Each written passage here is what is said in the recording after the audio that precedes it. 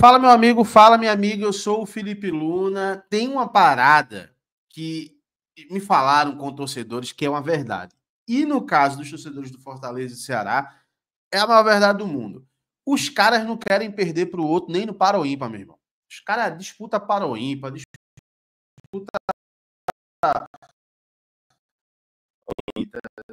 que é uma bobagem, né? Mas disputa a camisa mais bonita, a maior torcida, a mais fiel, a mais legal. E dessa vez, o Douglas do Bora pro Racha, ele trouxe alguns números comparando proporcionalmente a média de público do Ceará e a média de público do Fortaleza. E nesse vídeo que eu vou mostrar, a gente vai reagir do Bora pro Racha aqui, ele fala que a torcida do Ceará está fazendo um melhor papel na temporada do que a do Fortaleza. Será que é isso mesmo? Eu quero comentar sobre isso. Vamos falar agora sobre isso. Antes de mais nada, ó, te inscreve, ativa o sininho, deixa o teu like, dá essa moral aí, que a gente tá aqui trazendo conteúdo todo santo dia. O foco aqui é o futebol nordestino e a gente não vai deixar de falar essa treta, não, né? Então, sem perder muito tempo, irmão, vamos direto pro vídeo para sacar o que é que tá rolando. Vamos lá. Não é por nada, não, mas por cortes que a gente vê aí da imprensa, de torcedores do rival e tal, chateados meio que reclamando, porque há uma cobrança, entre aspas, né, de que a torcida do rival aumente sua média de público, porque a do Ceará está dando uma demonstração. Isso por si só já é uma resenha em Fortaleza, né? Porque é, a torcida do Ceará não chama a torcida torcedor do Ceará, né? Do Fortaleza, né? A torcida do Fortaleza chama sempre rival, né? E a do, a do, a do Fortaleza chama, acho que Ceará do canal, né? E fica essa parada, ninguém cita o nome da outra, né? Isso é, é maravilhoso, cara. Incrível aqui no estado e carregando o time nas costas, né? Até o Marcelo Paes ficou um pouco chateado aí, ou pelo menos se mostrou chateado, cobrando mais da sua própria torcida. Vamos comentar um pouquinho sobre isso, cara, até para valorizar a nossa torcida, o que ela tem feito. No último jogo, mais de 30 mil pessoas, sem ninguém pedir, sem, sabe, apelo nenhum, sem o time corresponder. Estava quatro pontos do G4, aliás, cinco pontos do G4, e mesmo assim, uma média de público absurda. Isso é o primeiro ponto que eu quero falar, cara, assim. É, tem uma parada que às vezes o torcedor fica falando, ah, porque a minha torcida é pica, a minha torcida é pica, não sei o quê. Pô, a torcida do, do Ceará é pica, pô. Não precisa ficar falando toda hora, não, porque não precisa um, um presidente ter que pedir pra galera aí. Se chegar num nível de que o torcedor só vá para o jogo se o, o, o, presidente fizer um apelo, aí, meu irmão, aí é falência, tá ligado? Torcida do Ceará, ela é capulosa, velho a do Ceará. Vamos comentar um pouco sobre isso. Eita, que rei, eita, que vai ter tricolor aqui me xingando. Tô nem aí, meu amigo. Vamos nessa. Vamos trazer nosso conteúdo aqui. Deixa o like, compartilha, manda para geral, quem puder. Seja membro do BPR, o membro tem a mensagem em destaque aqui do chat e pode entrar no nosso grupo exclusivo do Zap. Vamos lá, vamos para rima.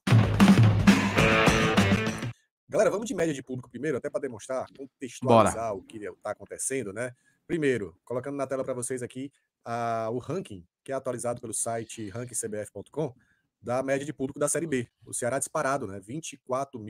24.396 a média. O segundo colocado é o Curitiba com 14.332 em 15 jogos da Série B. O esporte deve aumentar essa média porque na Ilha do Retiro está sempre lotando, inclusive hoje joga contra o Operário com casa cheia mais uma vez, né? Deve ter aí um público de 25 mil, então com o tempo o esporte deve assumir a vice-liderança aí da, do ranking né, de média de público da Série B. O Santos, pouco, né, cara? Eu sei que às vezes eles jogam no estado não, o, o, Santos é vergonhoso, assim. Os caras ficaram nessa retórica de que, não, é Série B, a gente não quer saber de nada. A galera largou mesmo, assim, sabe? O torcedor do Santos largou o time mesmo na Série B. Foi um negócio surreal. Mais acanhado e tal, mas 10 mil aí apenas para o Santos, e aí vai Paysandu, Havaí, Vila Nova, por aí vai o, a média de público da Série B. E isso está incomodando demais, cara, porque é pauta da imprensa. A imprensa fala muito sobre isso, né? Futebolês fala muito sobre isso. O Jussier tem falado muito sobre isso, valorizando demais. Que a torcida do Ceará tá carregando. Agora eu vou, eu vou, dar uma opinião minha aqui, tá? Claro, se eu, tô, se eu tô dando opinião é minha, né? Mas assim, eu vou, vou deixar uma opinião aqui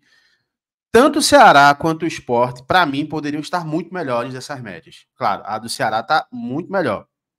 E eu não vou colocar a desculpa aqui de que, ah, porque o esporte está jogando na arena, tem um dificultador? Tem. Mas assim, era para ter uma média melhor, mesmo jogando na arena. E eu acho que a do Ceará também, tá? Porque assim, na Zica, velho, na Série B, é que a torcida tem que estar tá mais junta. Os dois momentos que a torcida tem que chegar mais forte é na dificuldade e nas finais final de campeonato, final de, de, de, de uma competição que ele está jogando, uma reta final, sabe? Então, assim, para mim, tanto a torcida do Ceará quanto a do esporte está deixando muito a desejar na média de público. A do esporte, mais ainda, mais do que a do Ceará, inclusive. Tem time nas costas e tal, uma demonstração de amor absurda. E claro, né, isso é falado aqui em um contexto local e o torcedor rival incomoda. E aí eu achei muito curioso, cara, porque tá rolando um corte do futebolês de ontem falando justamente isso, um torcedor tricolor incomodado porque estavam elogiando a torcida do Ceará e tal. Vamos ver aí, vamos reagir a essa parte aí e a gente comenta sobre isso. Ih, Douglas, tá mudo. Opa, errei, foi? Errei. Foi. Peraí, galera. Peraí, peraí, vai dar certo, viu? Deixa eu Boa. botar aqui de novo. Agora vai. Vou botar no mudo fica difícil. aqui. Aí eu vou, é, vou- ler a mensagem na íntegra aqui, tá? Vocês são engraçados. 25 mil pra torcida do Ceará, vocês passam o horário todo babando. Sim. Aí o Fortaleza não pode botar 25 porque é decepcionante. Que choro, hein, meu amigo? Pelo amor de Deus. O cara deu uma chorada grande aqui, cara. Pelo amor de Deus.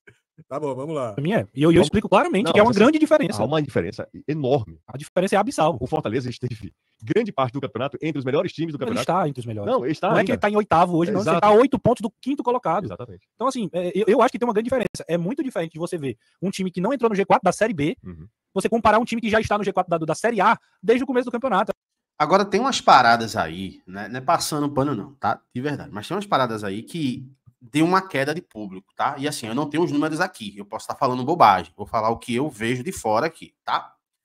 O primeiro ponto é: foi muito frustrante pro torcedor do Fortaleza a saída da Sul-Americana da forma que foi. Sabe? Então ali o time vivia um momento mágico. Um momento mágico na Série A e na Sul-Americana. Aí teve a queda né, da, da, da Sul-Americana de forma vexatória contra o Corinthians. Para mim era muito mais time em Fortaleza do que esse time do Corinthians. E, e caiu, né? E também teve a queda de produção do time na primeira divisão. Então isso fez com que o time, na minha visão, a torcida meio que desse uma esfriada, tá? O que eu não tô dizendo que é certo, mas eu acho que é natural, assim. Você cria uma, uma expectativa, não alcança aquela expectativa, você se frustra, a torcida diminui mesmo. Agora, não estou passando pano. Assim, se a gente for pegar no certo pelo certo, era para a torcida apoiar mais ainda. Mas eu compreendo também essa situação, tá? Não estou dizendo que, que tá certo nem que tá errado. Estou dizendo que eu compreendo. Então, assim, não, não há como a gente comparar. Aqui você tem que analisar, não é a quantidade de pessoas só. Ah, 25, 30, não é isso, é o contexto todo que está inserido. Pois bem, né? E aí, cara, isso aí tá sendo compartilhado. E de fato, assim, eu não vou, não tô aqui para tirar onda com a, a situação do futebol, porque a situação dentro de campo do nosso rival é muito melhor. Desde que o Ceará caiu para a Série B, né? Até um pouco antes disso, ele já estava Isso antes. melhores que a gente. Agora, é incrível a diferença, né, da torcida entre as duas torcidas. E vamos contextualizar, vocês viram que a média de público do Ceará tá ali, ó, em torno de 24 mil, fazendo uma campanha oscilante na Série B, tá? Acaba sendo destaque porque, de fato, a torcida, do Ceará é a torcida de Série A. A torcida do Ceará tá em outro patamar, cara. A torcida do Ceará realmente é muito grande para estar na Série B. E aí, quando a gente vai para a média de público da Série A, a gente fica esperando ver um Fortaleza, por exemplo, que está fazendo a melhor campanha da sua história, ali entre os G4, sei lá, top 5, mas está em nono com 27 mil. Tá bem pertinho, inclusive, cara. O Ceará tá com 24.396, eles com 27.826. Mas aí vamos lá também, né, velho? Vamos lá também, assim. Vamos, vamos dar uma olhada na média que o Fortaleza tá perdendo. O Fortaleza tá perdendo pro Flamengo, que é a maior torcida, o Corinthians, que é a segunda maior torcida, o, o, o São Paulo, que é a terceira maior torcida, eu acho, a terceira ou a quarta. O Bahia, que é uma torcida muito maior, muito maior, tá ligado? Aí Cruzeiro também é uma torcida muito maior, do Palmeiras é uma torcida muito maior. A do Fluminense vem numa situação complicada também, mas é maior, sabe? A do Atlético Mineiro é muito maior. Então, assim, dentro das proporções, cara, o, o, o Fortaleza não tá mal. Não tá mal, tá ligado? Assim, ele tá de... poderia estar tá melhor, poderia, concordo. Mas não tá horrível quando você vê as torcidas que estão na frente. Eu acho que o que o Fortaleza poderia estar tá ganhando aqui de público seria da do Fluminense. Que não é uma torcida também, é uma torcida gigante, cabulosa, mas não é uma torcida que tá sempre chegando junto, assim, desde a Libertadores aí deu uma, deu, deu uma crescida.